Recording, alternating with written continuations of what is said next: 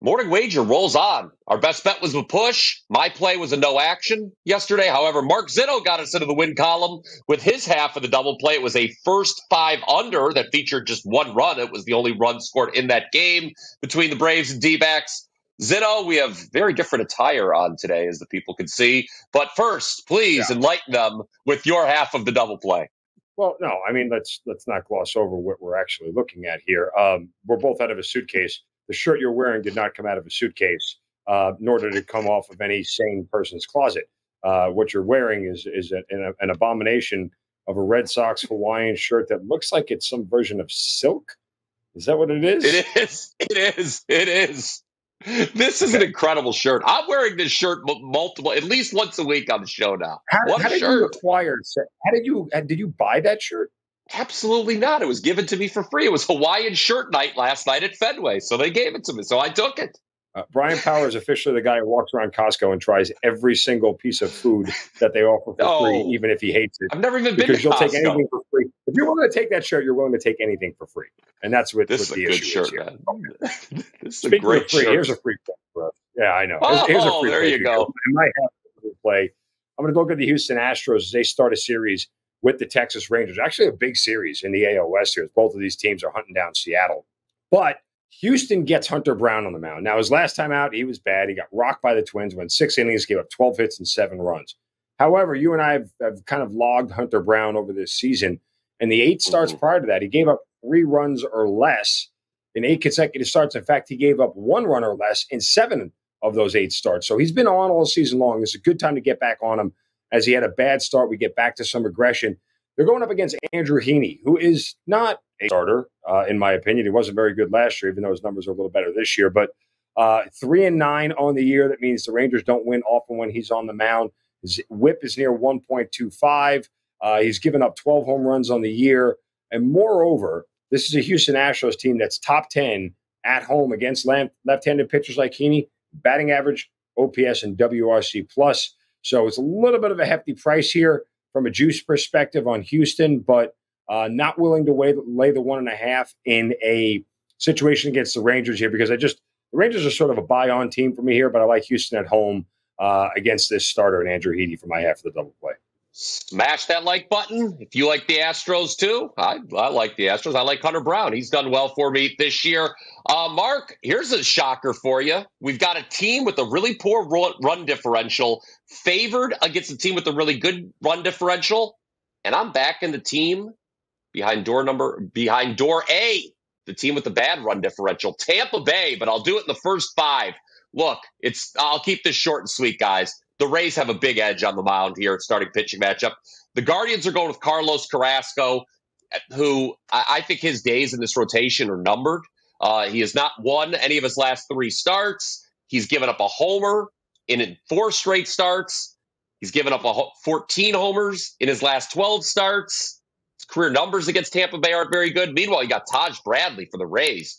He's been pitching his tail off. How about a 1.29 ERA his past six starts with a 45 to 13 strikeout to walk ratio?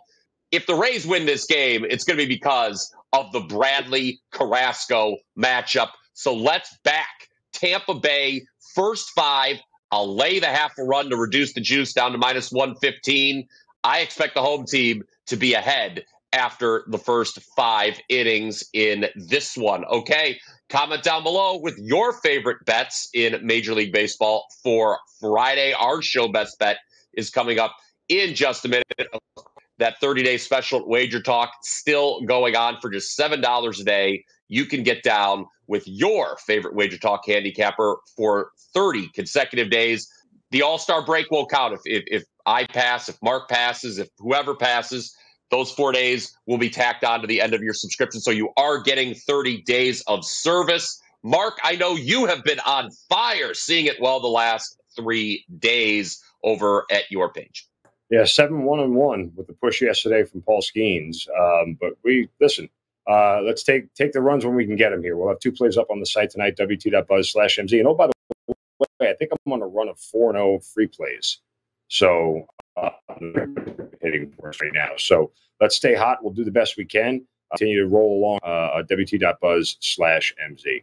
All right. I'll have something up as well on my page after the 3 0 sweep on Wednesday. My best bet was really poor last night. The LA Angels, I think, forgot to, uh, I took them plus one and a half.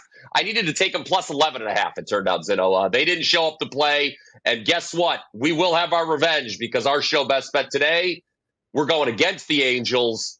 We're taking Bryan Woo against Tyler Anderson, a guy who's expect the, the difference between uh, you know Tyler Anderson's expected and actual ERA is uh, much larger than this hotel room that I'm in right now.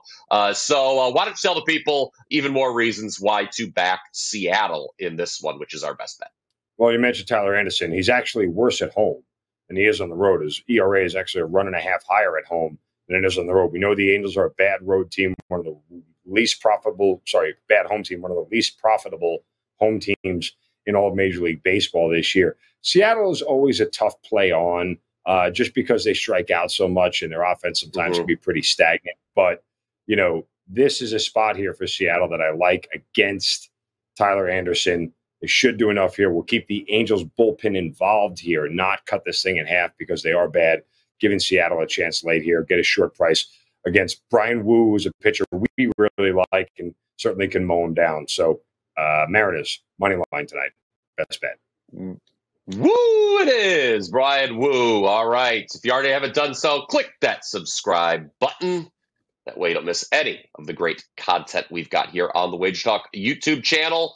Uh, Mark, it is Friday and the All Star break is upcoming. So our next show will not be until next Friday, a week from now, I believe, is the current plan. Always stay tuned. You never know uh, when something could come up, but uh, you're on assignment. I'm on vacation wearing this tremendous t shirt. This is what they give you when you cash it under at Fenway Park, by the way, Mark. Uh, Patty Johnson, by the way, is not a Boston native, apparently. They give me the thumbs down. But Patty, I was screaming to see if Patty was around. Uh, I don't think she lives in Boston. I was like, is Patty Johnson here? No response. But there is no better way to go into the weekend. I mean, that shirt is a sloppy parlay. It is. It is. I'm kind of want to see. I'll tell you what, this kind of makes you just want to unbutton the t-shirt, doesn't it? And get you going. All right. On that note, it is the weekend. Thank you. He's Mark Zinno. I'm Bryan Power. Head on over. Don't forget about that 30-day special. Everybody have a safe weekend. We'll see you after the All-Star break.